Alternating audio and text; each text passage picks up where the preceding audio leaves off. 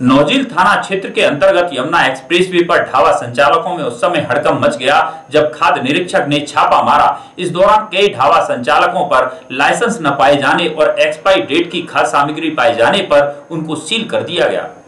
मार थाना क्षेत्र के एक्सप्रेसवे के समीप चल रहे ढाबों पर खाद्य निरीक्षक मुकेश कुमार ने पुलिस बल की उपस्थिति में छापेमारी की। इस छापेमारी के दौरान कोल्ड ड्रिंक्स, पानी की बोतल आदि की एक्सपायरी डेट भी चेक की गई। ब्रजवासी भोजनालय पर पॉलिश की हुई अरहर की दाल प्रयोग में की जा रही थी, जिसके सैंपल लेकर लैब को भेज दिए गए हैं। तो वहीं बांके बिहारी ढाबे पर एक्सपायरी डेट की कोल्ड ड्रिंक्स पाई गई, जिनमें दो बोतल सैंपल के खाद्य निरीक्षक अपने साथ ले गए। बाकी की बोतलों को वहीं पर नष्ट करा दिया।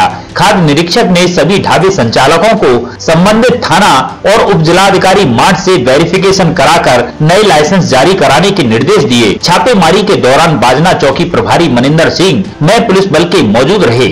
किनारे पर होटलों पर छापेमारी की गई है। किस मकसद की गई है?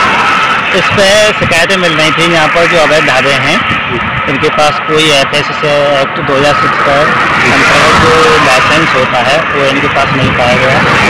और इनको जब तक लाइसेंस नहीं बने तब तक अग्रव आदेशों को बंद करने के आदेश दिए गए।